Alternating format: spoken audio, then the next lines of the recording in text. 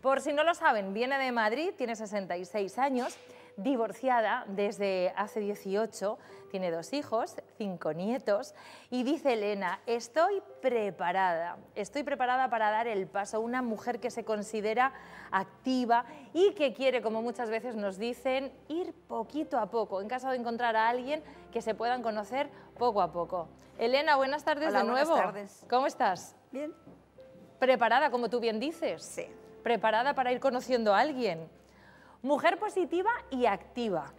También. Que le gusta, vamos, eh, menos estarse quieta hasta eh, bailar, ¿verdad, Me Elena? encanta. De hecho, mañana voy a bailar. ¿Y algún estilo en particular?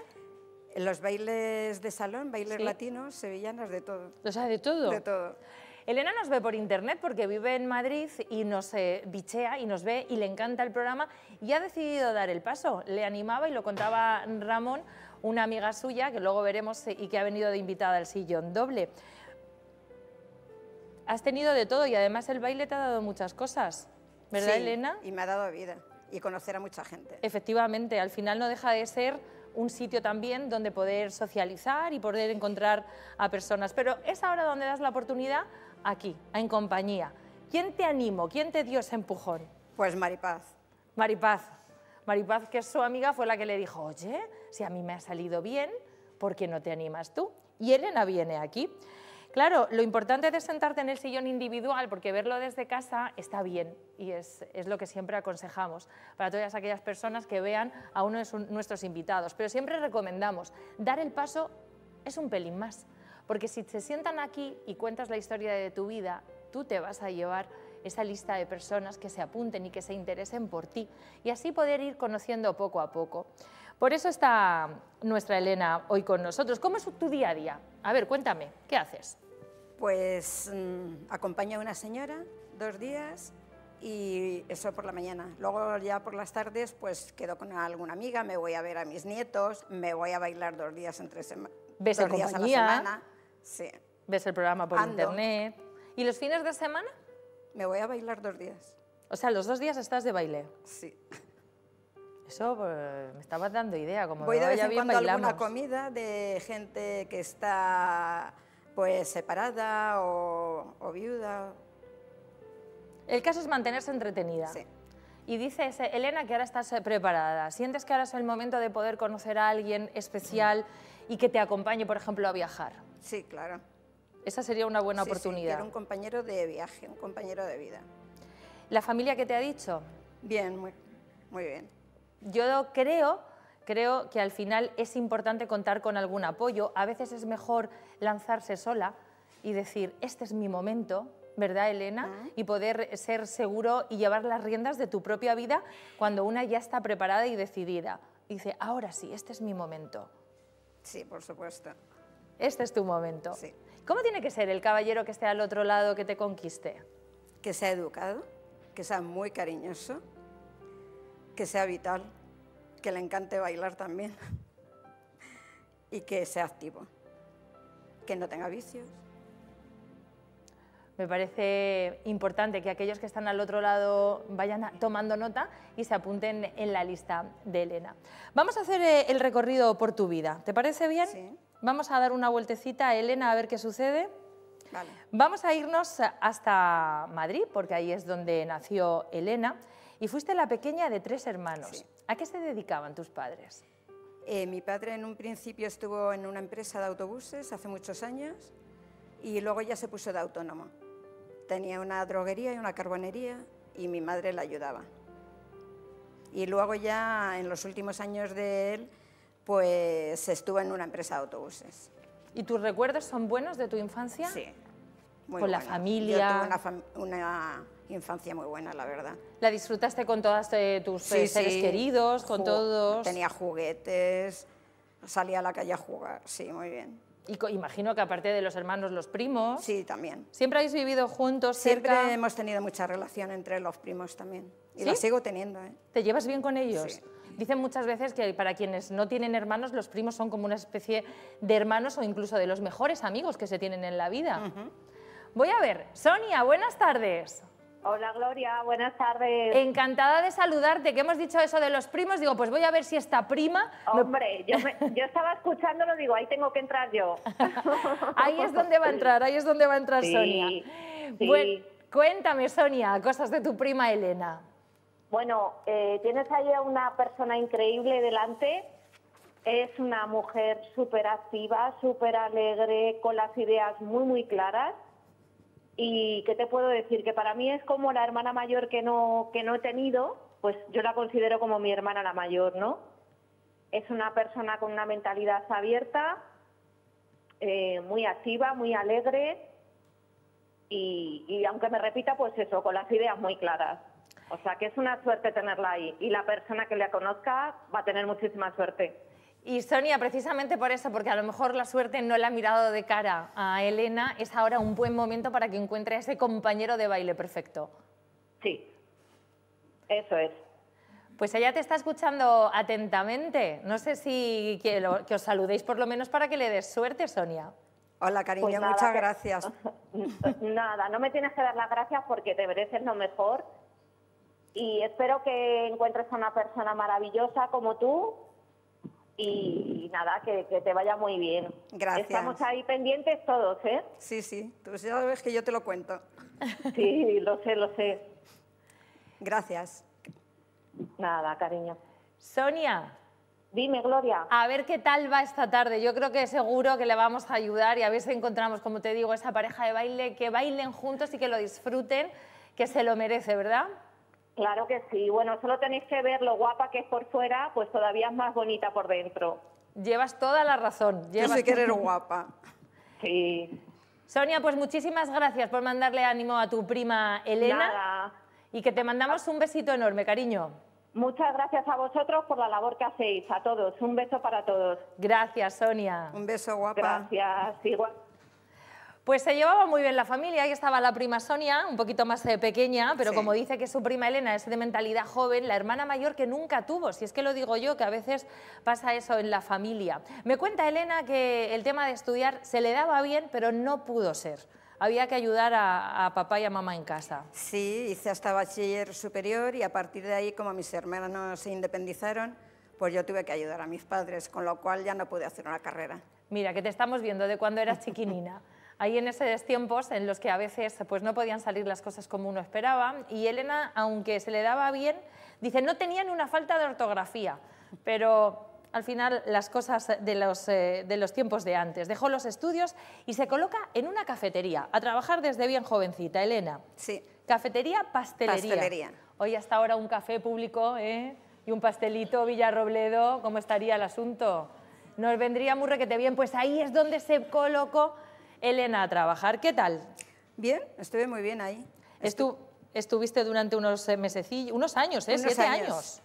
Siete Sí, años. Siete años, sí. Después trabajaste en la taquilla De un cine. de un cine. Siete años también. Cuando el cine era el cine. Sí. ¿A que sí, Elena? sí, sí, sí. Cuando había esas colas de los estrenos, mírate que te vemos ahí. La taquillera Elena, guapísima ella, y películas, grandes estrenos que se veían, pues cosas maravillosas. Ahí pasaste tu juventud. Ah. 19 años, se fija en un compañero de trabajo, pero aquí habíamos cambiado de nuevo de trabajo. ¿Dónde estabas colocada No, tú? estaba en la pastelería. Tú seguías en la pastelería Sí. y conoces a un chico. ¿Él en qué, en- en qué trabajaba? En él? la cafetería. O sea, era como las dos zonas Sí, y uno estaba en cada una. en cada zona. ¿Y qué te gustó de este chico, Elena? Nada, empezamos a hablar como compañeros y amigos y eso, empezamos a tomar algo, pues ya empezamos a quedar. ¿Él era de Madrid? Eh, vivía en Madrid. Vivía en Madrid. Él era, Era de de un pueblo de Burgos, pero vivía en Madrid. ¿Mayor que tú o...? Cuatro años. Cuatro años mayor. Dicen que el roce hace el cariño, ¿verdad? Y poquito a poco Elena, pues, empezó a gustarle y el chico le pide salir, como en aquella época, Sí. ¿verdad? ¿Qué dijeron en tu casa de este chico? Mm, al principio, es que además yo era muy joven. Les hizo mucha gracia. No. No les hizo mucha gracia. Les contó que estaba saliendo con el compañero de trabajo, a ella la veía muy cría y como que no. Eh, pero ¿qué pasaba? Que Elena, a pesar de su juventud y lo que se estilaba entonces, era ennoviarse y casarse. Es que era la única forma que tenías de independizarte, porque ahora es distinto, pero antes... Bueno, es distinto porque gracias a todas, y digo en femenino, que habéis abierto las puertas y a quienes hemos ido llegando atrás, nos habéis dado la oportunidad de descubrir que nosotras también somos poderosas. Pero os tocó a una generación Sí. salir adelante de esa manera y nosotras ahora y lo que viene por detrás hemos visto que esa independencia se consigue. Pero aquel entonces, Elena, tu llave para poder abrirte al mundo era casarte. Sí. Bueno, vive un noviazgo de los de entonces. ¿Qué hacíais? Quedábamos cuando coincidíamos en los días libres, o si no, pues alguna tarde nos íbamos a, a dar una vuelta o al cine. O... Elena, tú creías estar enamorada. Creía. creías. ¿Por qué digo esto y puntualizo? Porque la juventud a veces turba un poco el Sí. conocimiento. Cuando uno no sabe bien cómo son las cosas de la vida, pues te crees que lo que estás sintiendo ya es el enamoramiento, ¿verdad? Pero aún así, desde esa ingenuidad, estabas bien. Sí. Estabas feliz, en pareja, con este chico. Estuvieron un año de novios y se casaron. Sí. ¿Con cuántos años? Con 20. Con 20 años. ¿Qué recuerdas de ese día? Fue un día bueno, la verdad. Nos casamos por la tarde eh, en la iglesia y luego ya nos fuimos a un salón que en Madrid entonces había muchos salones Espera, de espera, no corras, que yo soy muy cotilla y, y necesito saber cómo era tu vestido de novia. Blanco. Corte, es que ahora estamos en época ya de, de bodas. Ahora ya vienen. Con manga larga. ¿Qué época era? ¿Qué era? Época del año, En abril. en abril. Bueno, fíjate, como ahora mismo sería. Sí. Manga larga. Manga larga transparente, con el cuello cerrado y a partir de, de- debajo del pecho iba con flores y bordadas. Tocado, velo, Velo. con un velo. Con un tocado. ¿Y, ve- y flores? Eh, un ramo, Sí, un ramo de rosas. un ramo de rosas, para que nos imaginemos cómo iba Elena. Se van, eh, se casa por la iglesia Sí. y luego celebración. En un salón de bodas, que de los muchos que había antes en Madrid. Mucha gente, muchos invitados. Ciento y pico. Bueno, sí, estaba bien, estaba bien. Con toda la familia, con los tuyos, a pesar de que a tus padres no les hizo mucha gracia, al pero final, cedieron. boda. Bueno, dice que fue un día bonito, una tarde-noche inolvidable. Luna de miel. ¿Dónde Nos os vais? una semana a Mallorca. a Bueno, es que eso era, eso era casi que por contrato, Sí. irse a Mallorca, ¿verdad? De luna Sí. de miel. Estuvimos haciendo excursiones para allí, a las cuevas del Dras, a Manacor, a Formentor. ¿Y dónde empiezas a vivir, Elena? Empezamos a vivir en Móstoles. Ahí en Móstoles, en Madrid. Sí. La casa Era de los padres de él. Los padres de él os ceden una casa, muy jovencitos, mm, vuelven como recién casados. Y eh, dice Elena, me confiesa, que a esa vuelta de viaje de novios, donde había sido todo idílico, donde realmente lo habían pasado bien, Elena empieza a ver otra cara de ese hombre con el que se había casado. ¿Por qué, Elena? ¿Qué pasó? Porque le veo que empieza a beber. Empieza a beber y yo estuve muchos años detrás de él diciéndole que lo dejase, que yo le intentaba ayudar porque le decía que íbamos a un centro de alcohólicos anónimos o a algún psicólogo o algo y él nunca se quiso dejar ayudar. Me has dicho y me has resumido en años, pero yo entiendo que todo empieza de alguna manera. O sea, tú empiezas a ver que tiene unas costumbres que no terminan de encajarte, Sí, claro. algo que se ve poco a poco, esa, esa conducta, ¿no, Elena? Claro. Pero claro, eh, no podemos resumir así corriendo esos años, porque si hay algo que marca en la vida de Elena es que al año de casarse te conviertes en mamá. Sí, con 21 años. 21 años, ellos eh, se, fueron a, se fueron a vivir, cambiasteis de casa, Sí, nos fuimos a Peña, a un barrio de Madrid. y en el momento de tener eh, al, al- al niño, vas con tus padres. Sí. La salud de- de Elena se resiente porque era jovencita, una anemia, y tú decides que allí vas a estar mejor Sí, cuidada. aparte de eso, luego yo, como iba a seguir trabajando, mis padres se tenían que quedar con el niño. Y escúchame, Elena, en el momento en el que decidís convertiros en padres, ¿hace que él cambie? No te creas. Él siguió con la bebida. Primer hijo, pero es que tuvisteis un Sí. segundo. ¿Y nada? No.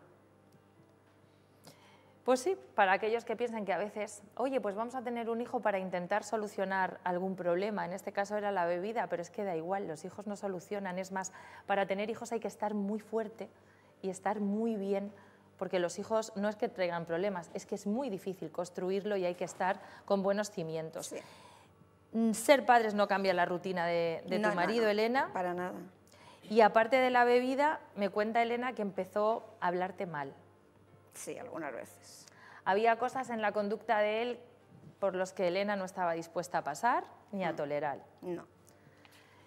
Bueno, al final esta situación eh, se complica y teniendo en cuenta que me has dicho que al principio a tu padre no le hacía gracia, sobre todo porque tú eras muy joven, el hecho de que salieras y te casaras, ¿tú les llegaste a contar esta situación a ellos? Luego lo vieron ellos. Lo, ¿Lo vieron? viendo. ¿Y cómo se lo tomaron? Mi padre fatal. Pero es que luego ya mi padre murió cuando el- mi hijo, el, el mayor, tenía como año y medio, o sea que... Y escúchame, Elena, ¿cómo sacabas adelante? Porque en aquel momento tú eras muy joven, tenías a dos niños pequeños, Porque mi madre se quedaba con ellos. era tu madre la que te Sí. ayudaba. Con él no podías contar. No, porque además trabajaba en un sitio que trabajaba 12 horas y venía tarde por la noche. y- Dice Elena, empecé a sentirme sola en todo, porque imagino que la relación de pareja se enfriaba. Sí, claro. Cuidando de sus hijos, trabajando y sacando el negocio, los negocios adelante. ¿En, qué, en ese momento, cuando tus niños eran pequeños, ¿en qué trabajabas tú? Pues cuando, eh, teniendo solo al mayor, estaba trabajando todavía en la En cafetería. la cafetería. Y luego ya no.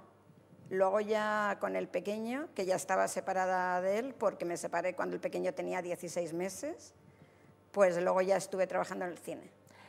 Bueno, pues lo ha dicho ella. La situación iba a peor, el tiempo empeoró, la situación que tenían entre ellos. Siete años llevaba casada, con 27 toma esa decisión. Cuéntame cómo fue. Tú decides y dices hasta aquí, cuéntamelo. Pues nada, eh, llegó un día y estuve pensando, mm, o seguir así toda la vida amargada y mal, o cortar y empezar de nuevo. Y opté por cortar y empezar de nuevo. Y se lo dices a él. Sí, ¿Y cómo se lo tomó? mal.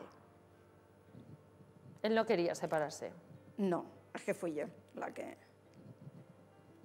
Pero cómo- claro, yo luego fui tú? a un abogado y cuando le llegaron los papeles a él, se tuvo que ir. Pero escucha, Elena, es que estamos retrocediendo en el tiempo. Es que tu hijo pequeño tenía meses. 16 meses. En una época, porque claro, me lo planteas ahora, pero una chica joven con dos hijos, uno prácticamente un bebé, y plantar el divorcio encima de la mesa, imagino que eso no fue fácil. No. Pero yo no iba a seguir así toda la vida. Tú tenías tampoco. claro que no querías eh, ser infeliz y que no querías hipotecar tu vida. Claro. ¿Tus padres te ayudaron? Entonces ya no vivía mi padre, pero mi madre sí. Tu madre sí. sí.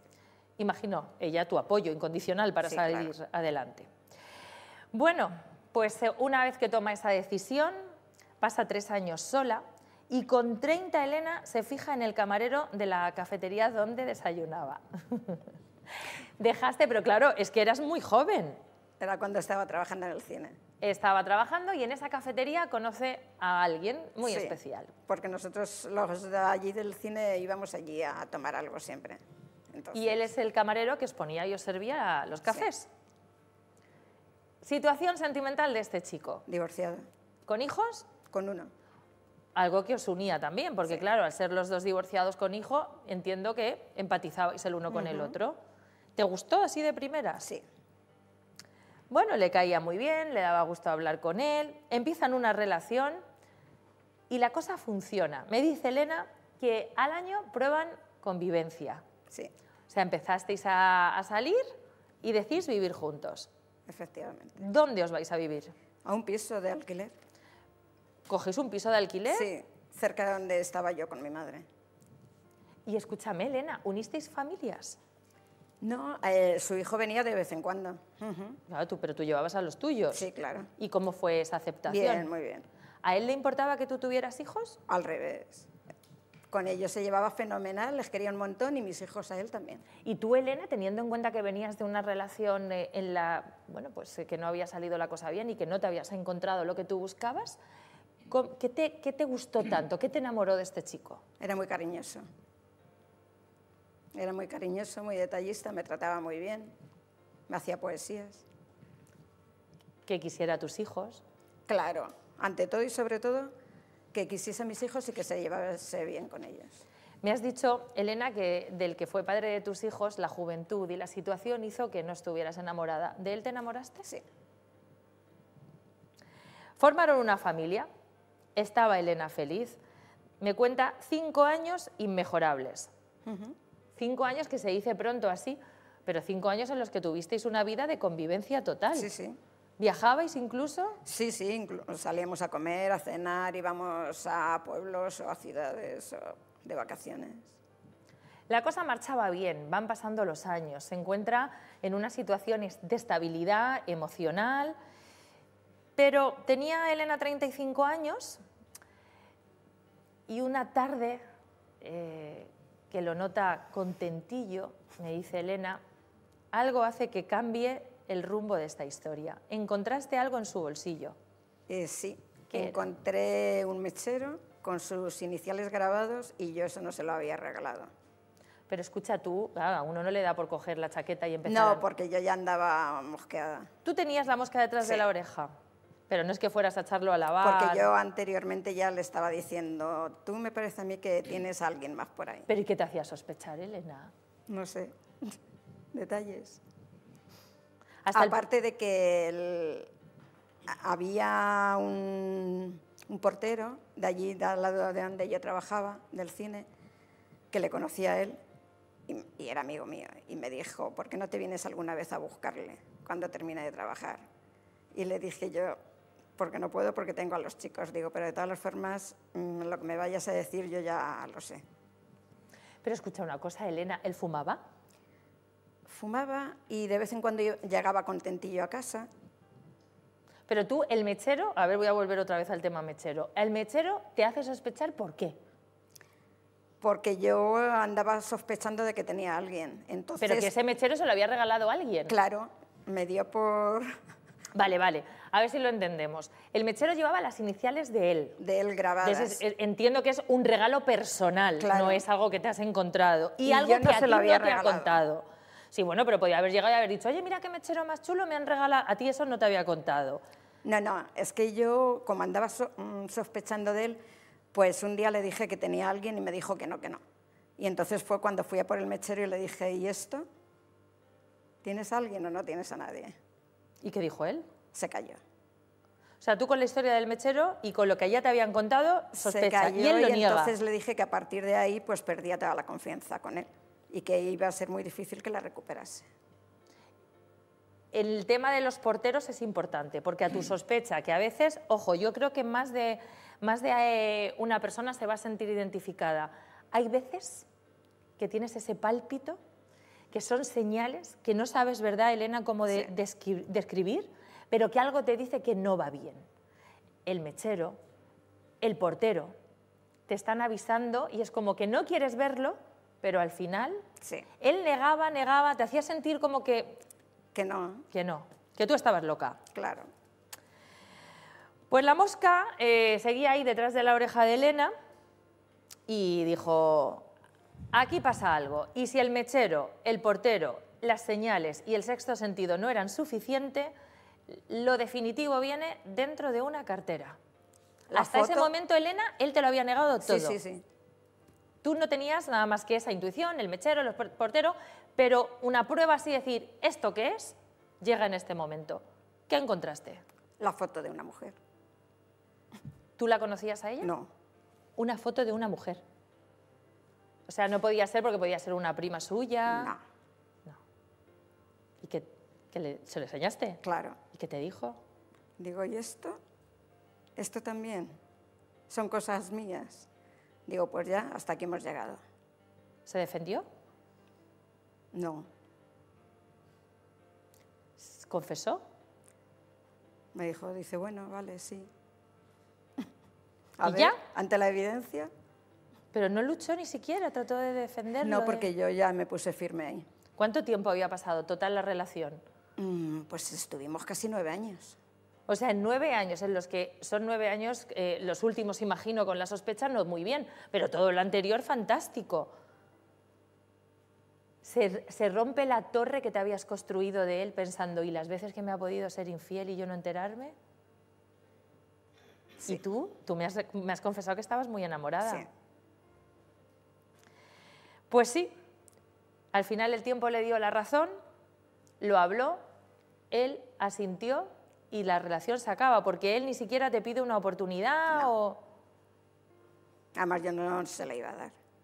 tú tenías claro que después de lo sucedido y lo que habían visto tus ojos, no necesitabas más pruebas. ¿Y cómo se rompe esa relación? ¿Cómo lo hacéis? ¿Le dices que te vas? Sí, yo me fui otra vez donde mi madre. Y él se quedó allí en el piso de alquiler. Elena y los niños. Los niños, el pequeño lloró y todo cuando se lo dije. Qué mal. Sí, Qué decepción, qué ¿verdad? pena.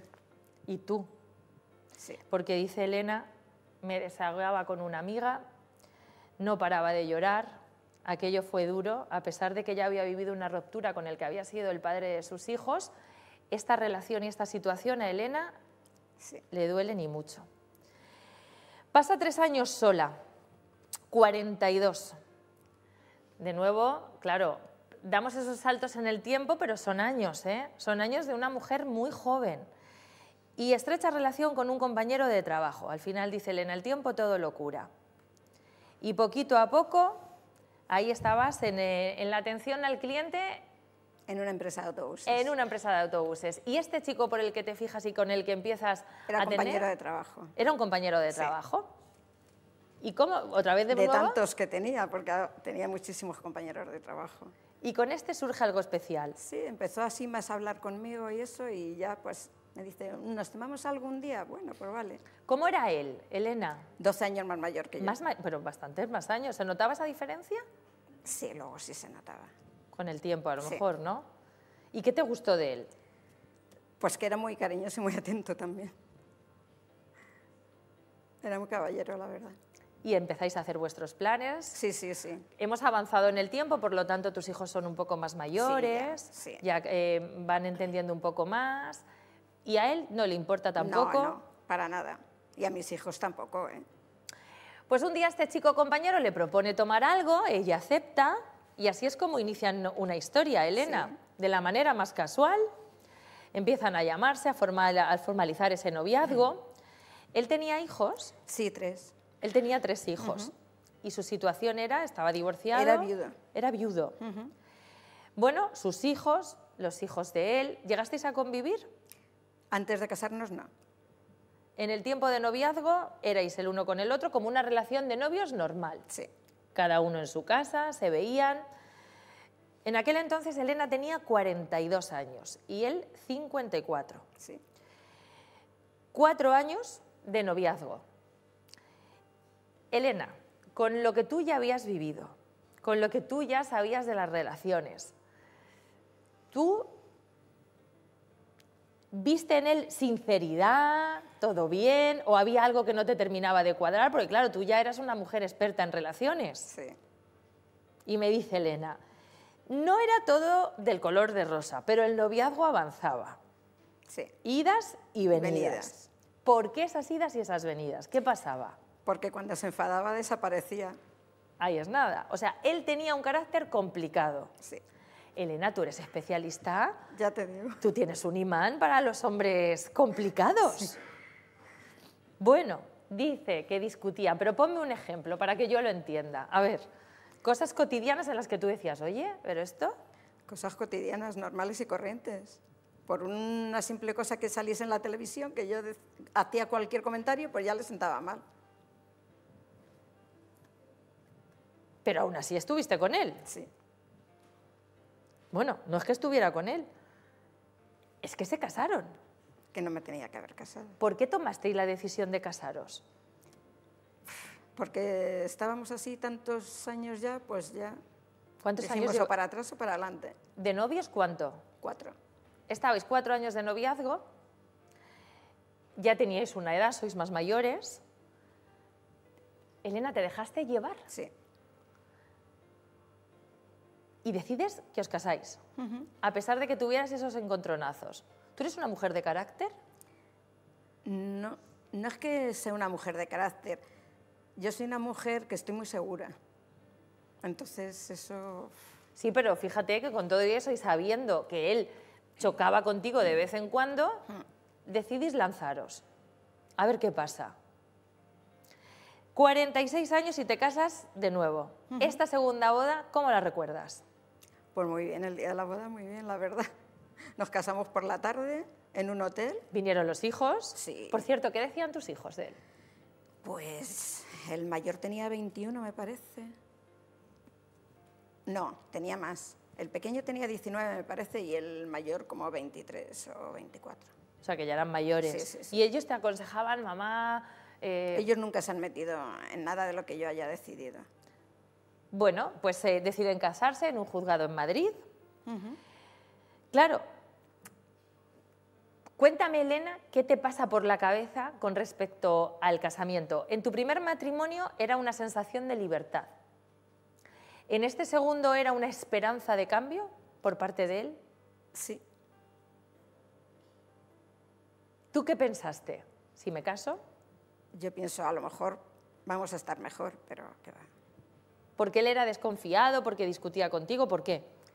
Porque, no sé, porque le entraba la neura y se enfadaba. Pues has dicho, se enfadaba y se iba. Sí, en el noviazgo, en el noviazgo.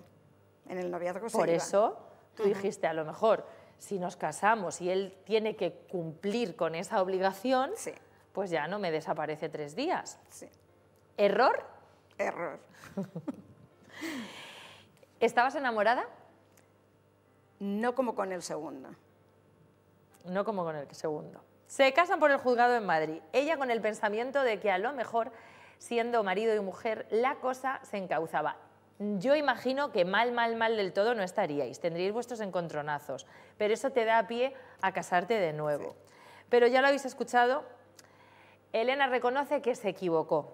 ¿Cuándo te das cuenta que te has equivocado? Con el paso del tiempo, que luego ya los tratos no eran como es debido. ¿Y dónde, por cierto, dónde iniciasteis el matrimonio? ¿Dónde vivíais? En mi casa. ¿Tú tenías tu casa en Sí, sí, propiedad? Sí, y estáis ahí, él se vino a vivir él contigo. se vino, sí. Y en ese momento estabais trabajando, Sí, sí. seguíais trabajando, pero si antes en las discusiones desaparecía, una vez que son marido y mujer, aparecen discusiones importantes. sí. ¿Cómo era esa relación?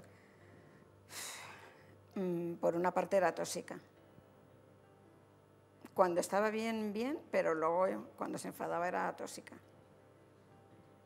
Me cuenta Elena, no le podía llevar la contraria, No. pero a tanto llegaba a sulfurarse. O sea, le- tenías que ser una balsica aceite para que las cosas funcionaran. Claro.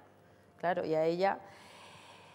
Pues un matrimonio que dura bastante menos que el primero. ¿Cuánto Sí. tiempo estuvisteis casados? Año y medio. Año y medio, no llega a los dos años. Y dice Elena que ella considera que era una relación tóxica. No, se venía, no le venía bien. Y mm, había algo que ella tenía claro. Elena, si te vas, ahora que estamos casados, ¿qué le dijiste? Con todas las consecuencias. Y Y dijo que sí, pero me habla el reloj. Buena pregunta, me ha dicho, ¿se ha oído? Ha dicho el reloj, buena pregunta. Gracias, hombre.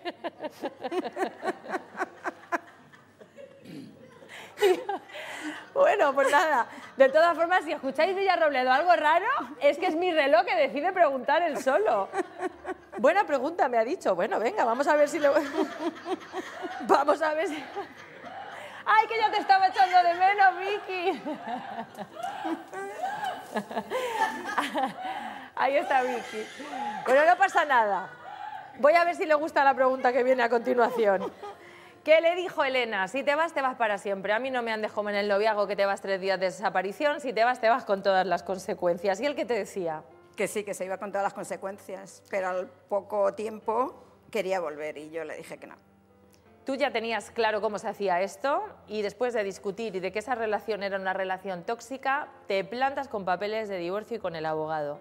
Fue él el que mm, Me Él- mandaron una carta de su abogada. O sea, en una de esas él- a ti te llega la notificación. Una carta, sí. ¿Te lo esperabas? No, ¿No pensaste que él pudiera dar el paso? no porque me estaba llamando muchas veces, dándome la, la lata, o sea que ¿Te costó trabajo decir adiós? no. En esta ocasión no.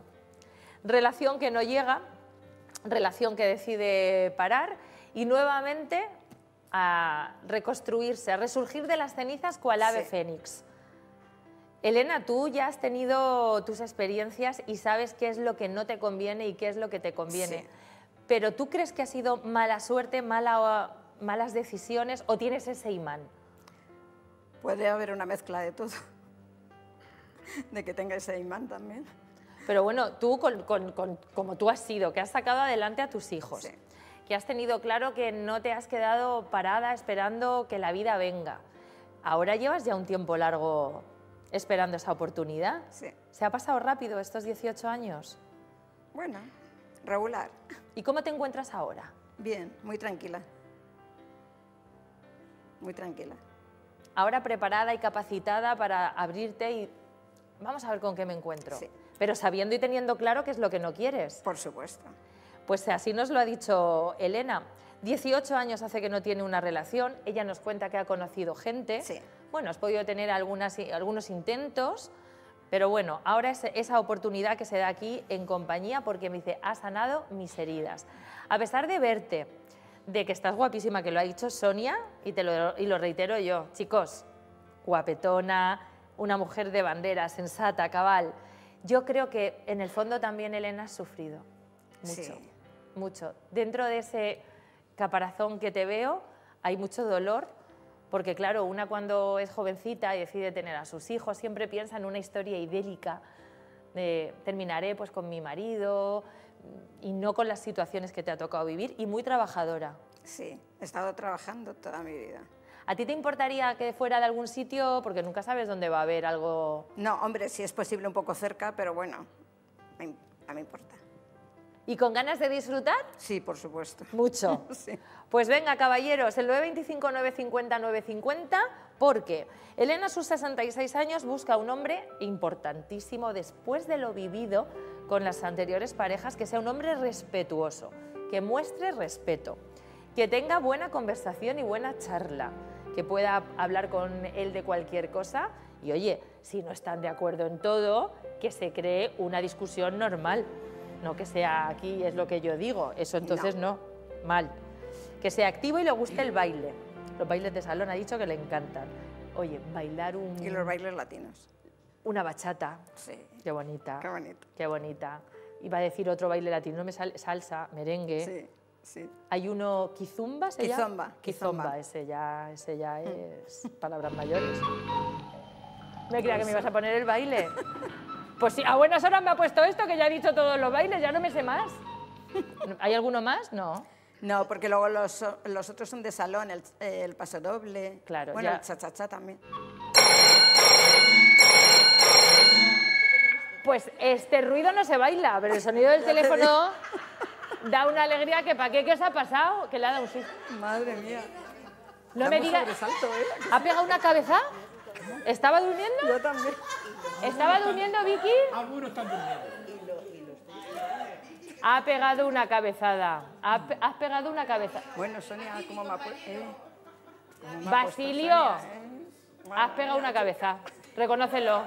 Hombre, hombre. Te lo estaba diciendo Ángel. Una no, 200. 200. Y lo estoy viendo. No te rías, pájaro, no te rías que te hemos pillado, ¿eh?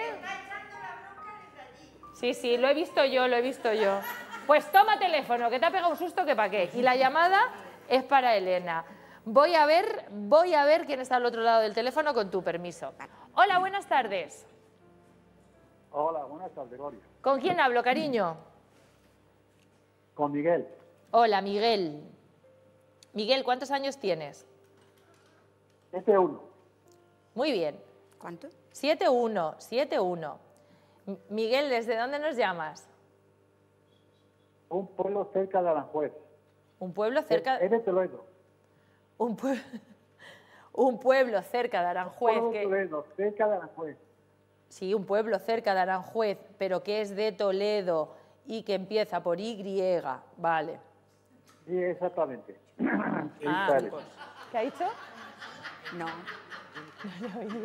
Pero no está. No te he oído, ¿qué has dicho? ¿De qué lista eres? Ah.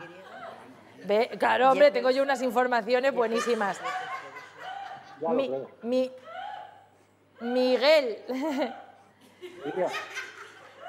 ¿qué te ha... Miguel, a, a ver que Vicky no me deja hablar. Vicky, eres... Uy, Vicky. Madre Miguel, mía. Dime, caro, dime. ¿eres un hombre activo? ¿Te gusta salir? No paro. No paras. Muy bien. ¿Tienes buena conversación? Creo que sí. Ah, qué susto, digo, tienes buena conversación y no hablas. Miguel, ¿tienes algún hobby de así que quieras tú decirnos?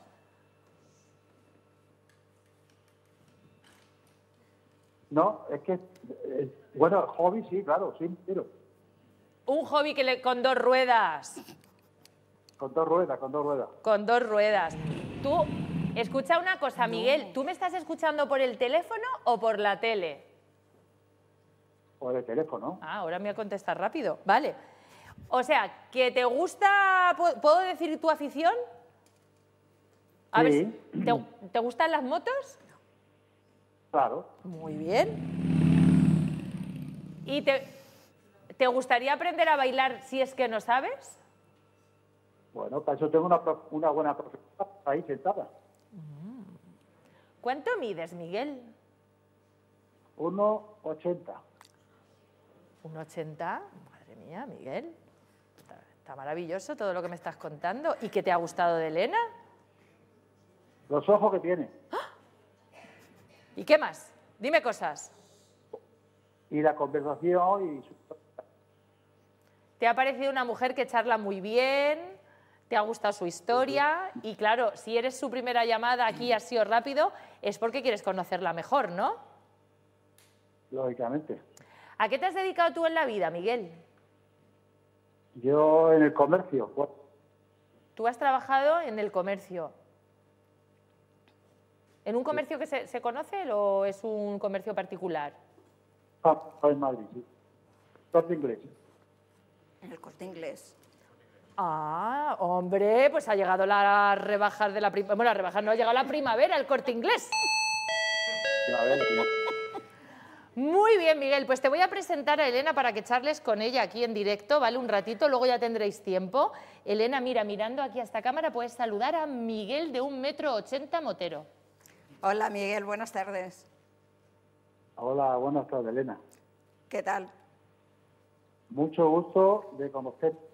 Gracias. Gracias a ti por llamar. Por eso te he llamado, porque me ha asustado. Gracias. ¿Y ya? esos ojos que tiene Ah, tan bonitos. Gracias.